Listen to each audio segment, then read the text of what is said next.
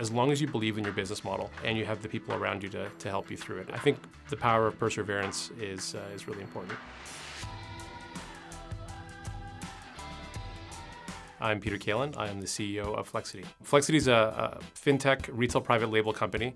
Uh, we offer services to retailers that sell big ticket goods that allow their consumers to finance those purchases in 12, 24 equal payments uh, and make those purchases more affordable. I came from the corporate world. It started when I noticed that uh, our competitors stopped advertising 0% financing as much as they used to. Uh, all these US institutions that were in Canada offering retail private label credit cards to retailers left the market because they blew themselves up in the US and retreated back to, uh, back to the US. So I started to run some models, pull together a few people, ask them if they could uh, put an investor presentation together, see if we could do a financial model and see what that looked like.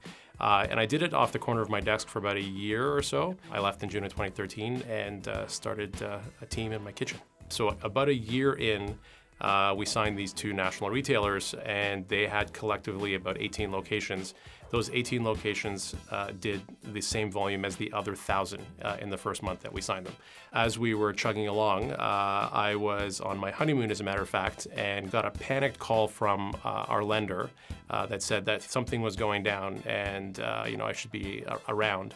I was on a cruise on my honeymoon though, so I lost connectivity for you know eight hours. When I got signal again, I downloaded my emails and there was a letter of termination with 30 days notice. You know, one of the, the unique natures of a credit card company or a consumer finance company is in the early days you don't have a proper structure where you have a different facility for loans and a different facility for funding your, your staff. You're essentially funding everything for the most part out, out of equity. It is a lot of money to come up with in, a, in 30 days. So uh, called everybody into the office. It was a Wednesday and, and I basically said, if you work in account acquisitions, uh, go home because we're not acquiring more customers.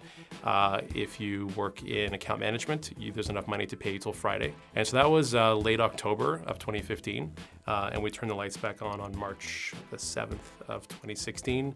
That was two years ago, and uh, you know we, we're now the largest private label credit card issuer in the country. You know, bounced back pretty quickly from there, but that was uh, some pretty dark days being in the office by myself, being the only person, uh, you know, trying to keep the company afloat. And it really is all about the people. I mean, there were the people that came back to restart.